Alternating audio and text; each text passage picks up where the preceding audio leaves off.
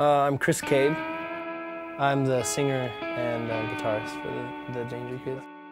I write the lyrics and the majority of the music. The Danger Kids uh, was a project that myself and Garen, our drummer, started um, a couple years ago. And it's just a rock band.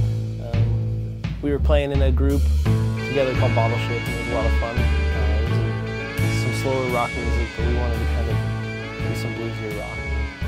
Kind of just started as a duo and pulled Dan in and kind of formed this fun little trio. Me personally, I listen to a lot of different kind of music. I like old old school music, whether it's like the Mamas and the Papas, the Beatles, the uh, Rolling Stones, um, blues. I like uh, just anything, pop music, uh, different stuff like that. And I think the one thing that's always been a constant in my life has been just real loud, real distorted, real fun, just rock and roll songs.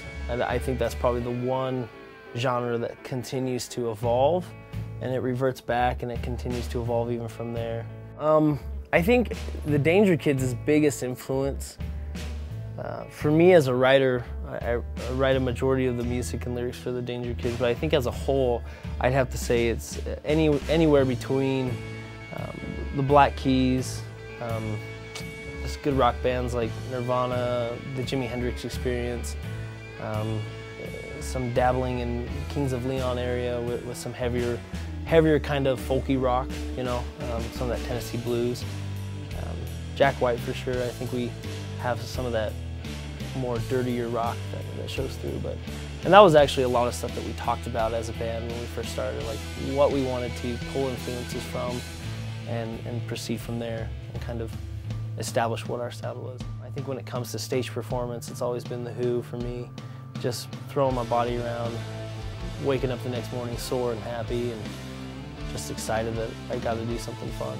Um, I would say thus far, the overall message would be it, it's your life and you have a responsibility to live it and to live it well, not to just dwindle in mediocrity, not to just be uh, pacifistic.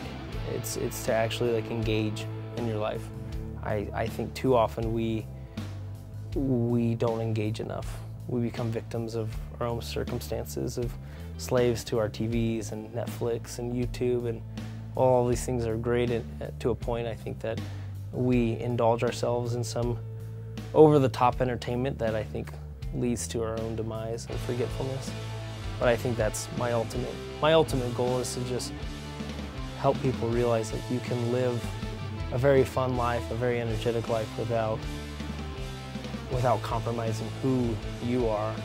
You can be both those things. Uh, right now our goal is um, recording more of our music.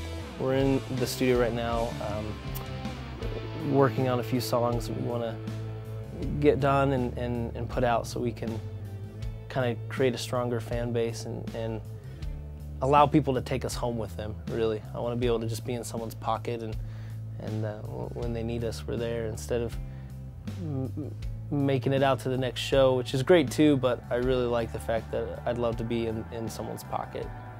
I really like the, the scene in, in the Provo, Orem area. I think it's really fun.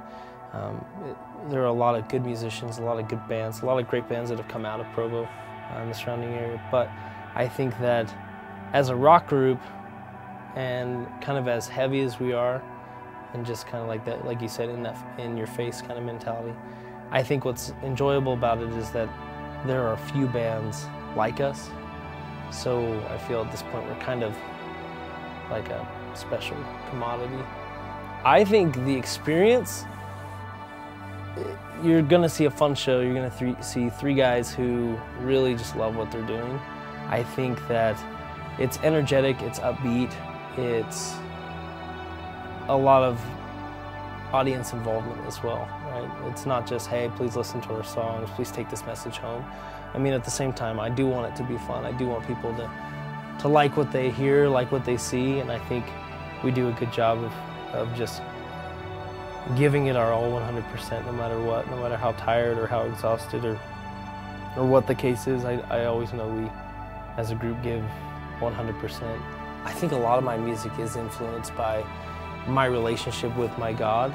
Um, you, if you listen to my music and if you take it at just face value, sometimes I think people can think that uh, it's a, a, some sort of mockery or uh, blasphemous or something like that.